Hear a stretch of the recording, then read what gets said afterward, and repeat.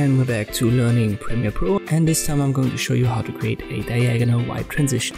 I've got two video files right here in my project folder. Let me drag that into the timeline and right now it's just a jump cut. So from this footage to that and we want to add the diagonal wipe transition in between them. Just go over to your effects, type in wipe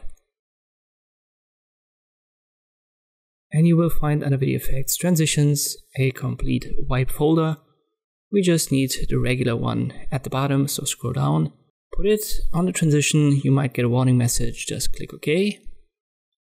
Make sure it's selected and go to effect controls and you can see this menu popping up. At the alignment, I've got it set to the center, but you can also use the drop down to put it at the start or the end. So just watch the timeline what happens. This is what the drop down is for.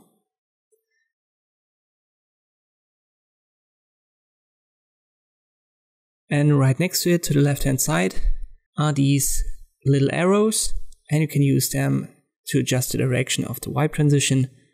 So if I want it top left to right bottom, I click on that arrow.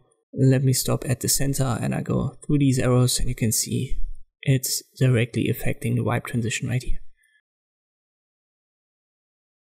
Right now it doesn't have a border, but you can set the width to, let's say 5, and then click on the color swatch and change it, for example, to white. And now the diagonal wipe transition has a white border. If you don't want to have a border, just set it back to 0. And this is how you can create a diagonal wipe transition in Adobe Premiere Pro. Thank you for watching and I'll see you next time.